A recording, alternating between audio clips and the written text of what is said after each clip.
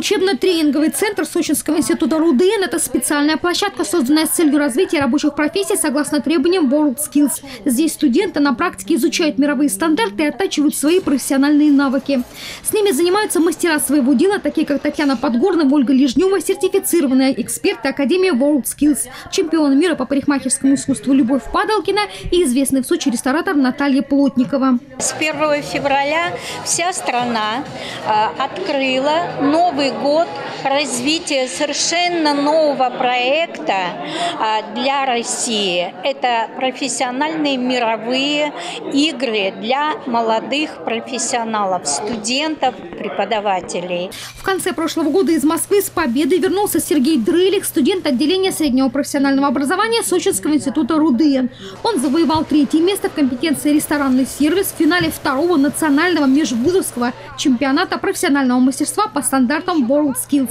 Конкурс э, длился два дня, то есть в первый день э, было именно обслуживание, я был официантом, а во втором дне были все остальные, то есть бариста и бармен.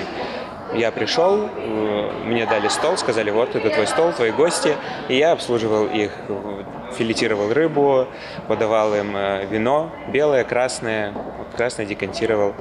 А на следующий день готовил кофе двух видов. Сочинский институт РУДН три года назад стал полноправным участником международного движения. Летом прошлого года в институте прошло масштабное событие – отборочный межвузовский открытый чемпионат по компетенциям ресторанный сервис и флористика. Профессионалы WorldSkills – это действительно очень интересное и очень развивающее а, направление. И сегодня в Российском университете дружбы народов это реализовано на высшем уровне. Мы знаем, что есть победители, в том числе и международных уровней уровней, есть призеры международных уровней. А вуз, в котором активно развивается среднее профессиональное образование, твердо стоит на позициях участия наших ребят в престижных международных конкурсах.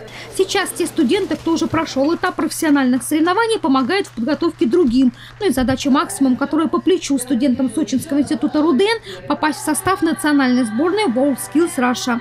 Елена Овсецина, Алексей Давыдов, телекомпания ФКТ.